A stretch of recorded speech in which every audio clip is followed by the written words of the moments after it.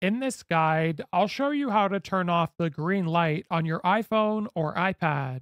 So, anytime you're using your camera on your phone, whether it's on an application or you're using the actual camera app, you'll notice in the top right corner that there's a green light turned on.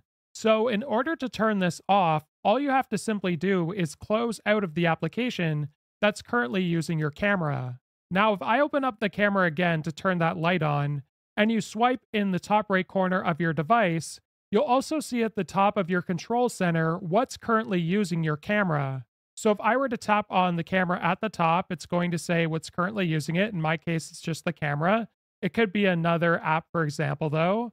So this is very easy to figure out what's currently using it and what's causing that green light to be turned on, so you'll know what to turn off. Now, if you still see that green light after you've closed all the applications on your device, what I recommend you do is restart it. So press and hold the power button on the right side and the up volume button on the left side of your device, and you want to turn off your device fully and then turn it back on. If this guide was helpful, like and subscribe, and we'll see you in the next one.